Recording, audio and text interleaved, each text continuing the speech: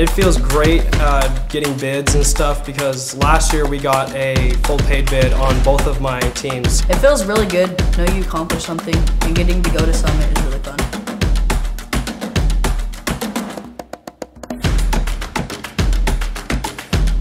I've done a lot of sports and I would say com uh, competitive cheerleading is definitely the hardest. All star cheer is definitely harder than a lot of the sports that I've done. It's definitely a lot more conditioning than football. I've learned a lot of tumbling skills and learning how to stunt and learning how to cooperate with others. What makes Spotlight different is that we're just so close to each other. Once I tried it out, it was a lot of fun.